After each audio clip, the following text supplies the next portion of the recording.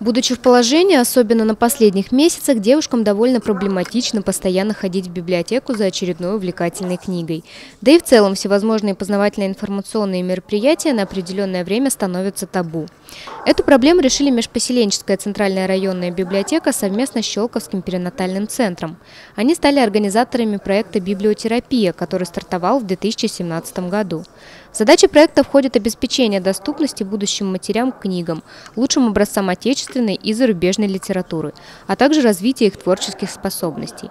Для пациенток центра периодически проводятся лекции, на которых приглашенные кураторы рассказывают ту информацию, которая будет важна именно в этот период их жизни.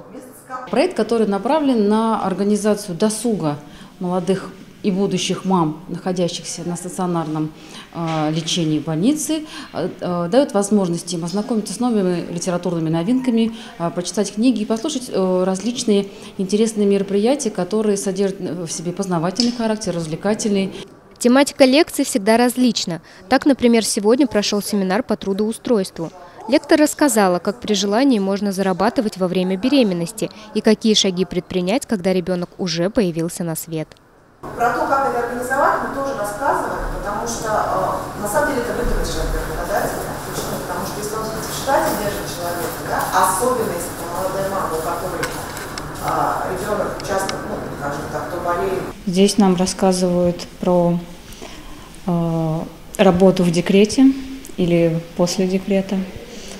И это довольно актуальная для меня тема, но пока сложная.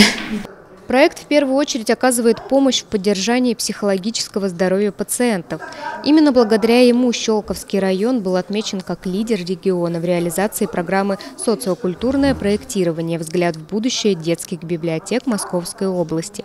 Помимо прочего, Межпоселенческая центральная районная библиотека стала первой осуществляющей программу «Сказкотерапия» в Подмосковье.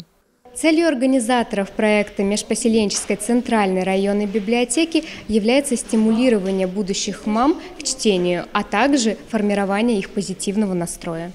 Мария Буржинская, Сергей Василевский, телерадиокомпания «Щелково».